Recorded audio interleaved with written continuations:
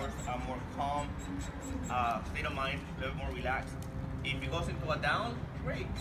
I give him about a whole three seconds, and I'll get him out of here. Just that simple.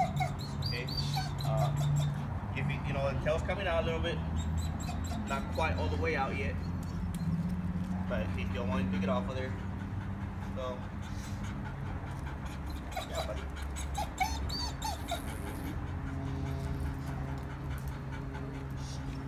Do I help him at? Yeah. Uh, but just because I, I decide to help him at times doesn't mean that I'm going to pet him. Um, do I try to you know, comfort him a little bit? Yeah. Sometimes that helps.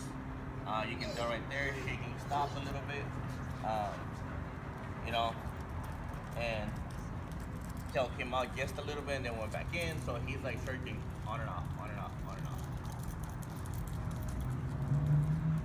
Just predict am I gonna be, oh, it's okay, buddy, kissy kissy, uh, up in his face? No. I think you'll me just for no reason? No. Is he gonna relax?